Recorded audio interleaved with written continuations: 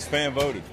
It's up to the fans, and you can't complain. And you got all these people in town whining about these award shows. You can't complain if fans don't vote. You don't. If fans vote, you don't win. Work harder next year. You know what I mean? CMT Awards are all about the fans. It's about the music and the videos and the fans, and, and those are the basically pretty much the three things that um, make up you know country music. So it's it's really fun to have them determine what's going to happen.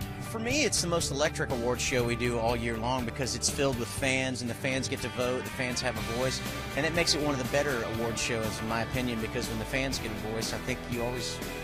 I don't think you can go wrong. I think the winner is always the right one because the fans have voted them in. So for me, it's one of the more fun award shows to do all year long. And uh, So what you're saying is vote for us, please, fans. what I'm vote- saying is, um, vote for yes, basketball. please, fans, vote for us.